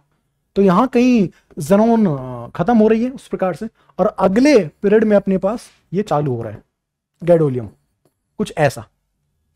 64 कुछ याद आ रहा है? क्योंकि एफ़ ब्लॉक का एलिमेंट है, इसको अलग से नीचे शो कर देते हैं। एक ये सब बातें ठीक है, आपको पता होंगे लोकेशन बता रहा हूँ मैं। अब सवाल पे आ जाए इसे पूछा कि थर्ड एंथेल्पी बताइए थर्ड एंथैल्पी मैंने कहा, ठीक है थर्ड का मतलब क्या हो जाएगा? थर्ड का मतलब हो जाएगा कि इसमें से निकालो एक इलेक्ट्रॉन बनेगा जी डी प्लस निकालो एक और इलेक्ट्रॉन बनेगा जी डी टू प्लस अब निकालेंगे थर्ड इलेक्ट्रॉन तो बनेगा जी डी प्लस थ्री ये फ़र्स्ट एंथैल्पी ये सेकंड ये थर्ड थर्ड एंथैल्पी बहुत ज़्यादा लो है. क्यों लो है? पता नहीं सर अगर फ़र्स्ट निकाल लेंगे तो जीडी प्लस क्या बन जाएगा? It is four F seven five D one six S one अगर प्लस टू निकाल लेंगे तो क्या बन जाएगा? Five D one four F seven बचेगा. अगर एक और निकाल लेंगे तो फोर एफ़ सेवन बचेगा ना, जो कि हाफ़ फ़ील्ड है. तो डी वाला बोलेगा जल्दी निकालो मुझे, फटाफट से निकालो। लो एनर्जी बाहर निकल जाऊँगा मैं। Because four F seven half filled gadolinium plus three और हाफ़ फ़ील्ड स्टेबल क्यों होता है sir because of high exchange energy same spin वाले आपस में एक्सचेंज कर सकते हैं पोजीशंस को, जिसकी वजह से काफ़ी ज़्यादा एनर्जी रिलीज़ होती है। उसको बोलते हैं exchange energy so it is the perfect answer ये सवाल क्लास ग्यारहवीं के बच्चे नहीं कर पाएँगे अभी। रिपीटर बच्चा कर सकता है, जिसने पूरा डिवलप पढ़ लिया होगा। चलिए ठीक है, बड़ा प्यारा सवाल था सर ये तो। प्यारा तो है ही। ये कर लोगे एटॉमिक साइज़ और ये एलिमेंट आराम से बनेगा. ऑर्डर पता है? वैल्यूज़ मैच कर लीजिएगा. वैल्यू मैच नहीं करनी है आपको. बस वैल्यूज़ के रेंज पता होनी चाहिए. रेंज में नहीं ऑर्डर बस. एक दस पिकोमीटर है. मान लीजिए, एक बीस पिकोमीटर है. एक सोडियम है. मान लीजिए, और एक पोटेशियम है. किसका साइज़ बीस वाला होगा? सर ये बीस होगा दस होगा? ऐसे कंपेयर करना है बस. वैल्यू याद नहीं करनी. ठीक है? कुछ बच्चे पूछते हैं कि सर वैल्यू कैसे याद करेंगे? बेटा वैल्यू याद नहीं करनी, बस वैल्यू कंपेयर करनी है ना. बड़ा छोटा कौन है? आइए फटाफट से। दो एलिमेंट गिवन है एक्स एंड वाई एक्स की बेटा आपके पास गिवन है चार सौ उन्नीस। वाई की गिवन है, नहीं नहीं। एक्स की दो एंथैल्पी गिवन है। फ़र्स्ट एक्स की चार सौ उन्नीस है। एंड सेकेंड फ़र्स्ट वाली चार सौ उन्नीस सेकेंड वाली कितनी है? थ्री ज़ीरो सिक्स नाइन हाँ ये है sir X and Y respectively चार सौ उन्नीस, पाँच सौ नब्बे। And second enthalpies of X and Y are this तो एक्स की पहले ये थी सेकेंड वाली कितनी है? सिक्स नाइन वाई की पहले कितनी पाँच सौ नब्बे रेस्पेक्टिवली मतलब पीछे वाली इसकी हो जाएगी। ग्यारह सौ पैंतालीस। ये काफ़ी बड़ा जंप है। ये इतना बड़ा जंप नहीं है। बड़ा जंप कब आता है? जब स्टेबल कॉन्फ़िगरेशन को बीट करना होता है। उसको पार पाना होता है। तो पूछा है कि एलिमेंट कौन कौन सा होगा, बताइए। तो मैंने कहा, पहले फ़र्स्ट एलिमेंट चेक कर लीजिए पहले एंथैल्पी चेक कर लीजिए। सर, पहले में वाई ज़्यादा है। पहले में वाई ज़्यादा है अपने पास। इसका मतलब क्या होगा अपने पास? ऑप्शन का गिवन है, एक अल्कली एक अल्कलाइन मान लीजिए एक अल्कली मेटल है, एक अल्कलाइन अर्थ मेटल है। किसकी एंथैल्पी ज़्यादा होनी चाहिए? सर इसके एंथैल्पी जो कि बढ़ती जाने पे यहाँ पे, ज़्यादा होनी चाहिए। फ़र्स्ट एंथैल्पी नॉर्मल सी बात ठीक है फ़र्स्ट तो ये देख के आइडिया मिल रहा है कि हाँ भाई एक्स और वाई लेकिन अब हो सकता है ऑर्डर का फ़र्क हो। ये एलिमेंट पहले वाला पीरियड का हो, वो थर्ड पीरियड का एलिमेंट हो। तो ग्रुप से पीरियड सेम है तो हम कंपेयर कर पा रहे हैं। अगर पीरियड बदल जाएगा तो कंपेयर नहीं कर सकते। इसलिए उसने सेकेंड वैल्यू भी दी आपको। एक्स की second value three zero six nine है। वो कह रहे हैं हम देखो, हमारे हिसाब से क्या होना चाहिए? एक्स और वाई होना चाहिए। हमारे हिसाब से। एक्स होना चाहिए अल्कली मेटल पहले ऑर्डर देखते हुए। वाई होना चाहिए अल्कलाइन अर्थ मेटल मैं कह रहा हूँ, एक बार सेकेंड वैल्यू भी चेक कर लेते हैं ताकि डाउट खत्म हो जाए। वैसे आंसर आ चुका है। फिर भी डाउट खत्म रहे बिकॉज़ हो सकता है ग्रुप या ऑर्डर चेंज कर दे, फिर वो रैंडम कंपेयर हो नहीं पाता। चलिए कह रहे कि अगर इसमें से एक निकाल लोगे ना, आप सेकंड वाले के लिए आपको बहुत एनर्जी देनी पड़ेगी, लगभग तीन हज़ार के आसपास। और इसमें सेकंड में जल्दी निकल जाएगा, ग्यारह सौ के आसपास। अब मुझे कंफर्म हो गया। अल्कली मेटल्स में एक निकालोगे नोबल गैस बन जाएगा। और नोबल गैस में से निकालना डिफ़िकल्ट है इसलिए वैल्यू हाई है। इसका मतलब एक्स क्या है? एक्स अल्कली है वाई अल्कलाइन है। खत्म। Next question first ionisation enthalpy order बताइए। सेम सवाल कई बार कर चुके देखो ध्यान से। इसको बोलते हैं फ़ायदा प्रीवियस क्वेश्चन करने का। देखो सेम सवाल, चार से पाँच क्वेश्चन अभी तक हम कर चुके ऑन द सेम सवाल। इसलिए बोलता हूँ कि प्रीवियस क्वेश्चन करके जाइए। इसलिए दिखा भी रहा हूँ बेटा आपको मैं। Decrease in size from left to right in the actinoid series is greater and gradual than that of lanthanoid series बेटा एक्टिनोइड की सीरीज़ के अंदर साइज़ और ज़्यादा कम रहता है बिकॉज़ इसमें फाइव एफ़ भरते हैं और कहाँ गए लेंथनोइड इसमें भरते हैं फोर एफ़ तो four F orbitals are penultimate five F orbitals have poor shielding effect बेटा। यस फाइव एफ़ की शील्डिंग बहुत पुअर हो जाएगी बेटा। फोर एफ़ और फाइव एफ़ तो बिल्कुल बाहर वाले हो गए। तो शील्डिंग पुअर है। उसका भी सेम वजह रहेगी जो सेम वजह लेंथनेड के लिए थी। लेंथनेड में फोर एफ़ की शील्डिंग पुअर थी। इधर भी तो एफ़ ही है। तो यहाँ भी शील्डिंग पुअर रहेगी। तो चूँकि और काफ़ी दूर भी हो चुका है। फोर एफ़ और फाइव एफ़ तो और पीछे हो चुका है। ठीक है? तो उसमें जो लेफ़्ट से बेटा राइट मूव करोगे इन द एक्टोन सीरीज़ तो decrease in size is greater बच्चों। कि साइज़ में बहुत गिरावट आती है। तो साइज़ गिरने का मतलब कॉन्ट्रेक्शन होगा। The element expected to be form the largest ion to achieve the noble gas configuration. Na plus बनाएगा नोबल गैस आ जाएगा. O2 माइनस बनाएँगे नोबल गैस आ जाएगा. F माइनस बनाएँगे नोबल गैस आ जाएगा. N माइनस थ्री बनाएँगे नोबल गैस आ जाएगा. सभी का नोबल गैस वाला आयन आ चुका है. सर अब पूछा है, सबसे बड़ा साइज़ किसका है? आपको पता है, ये सभी के सभी आइसो इलेक्ट्रॉनिक है. जितना ज़्यादा नेगेटिव चार्ज उतना ज़्यादा साइज़ सवाल सेम है, बस सवाल पूछने का तरीका बदल चुका है. लैंग्वेज चेंज हुई है. आंसर नहीं। आई थिंक लास्ट सवाल आपका नहीं, एक और बच्चा इसके बाद। आइसो इलेक्ट्रॉनिक स्पीशीज कौन कौन से आपसे पूछा गया है? आइसो इलेक्ट्रॉनिक स्पीशीज आपसे पूछे गए हैं बच्चों। Calcium two plus argon potassium seal minus, खत्म क्वेश्चन। सबसे आसान पहले चेक कर लो ना भाई। फालतू की चेक कर रहे हो? सबसे आसान चेक कर लो ना यार। नीट, दो सौ तेईस का सवाल। ये सवाल कितने बार आ चुके हैं? पाँच बार, कम से कम अभी तक। क्लियर है। बेटा 700 मार्क्स उसी बच्चे का आ रहे हैं जो प्रीवियस क्वेश्चन को चाट के बैठे तीन तीन बार कर चुके हैं।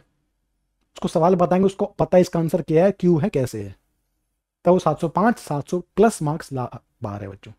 मार्क्स ऐसे नहीं आते। एक बार पी देख लिए, वो भी किसी ने दिखा दिए तो। ऐसे नहीं होंगे बच्चों। 700 प्लस मार्क्स लाने हैं, या टारगेट है तो बेटा आपको प्रीवियस क्वेश्चन को तीन से चार बार करना पड़ेगा इस लेवल पे जाके। तब आपको थीम पता लगी वो थीम क्या है, कि कहाँ से क्वेश्चन बन रहे हैं। वो थीम आपके हाथ में आ गई। थीम मतलब वो सेगमेंट अगर आपके हाथ में आ गया तो इस सेगमेंट से क्वेश्चन ज़्यादा बनेंगे तो उस पर आप स्पेशल फोकस कर पाएँगे। फिर वहाँ से आपका मार्क्स बन जाएँगे।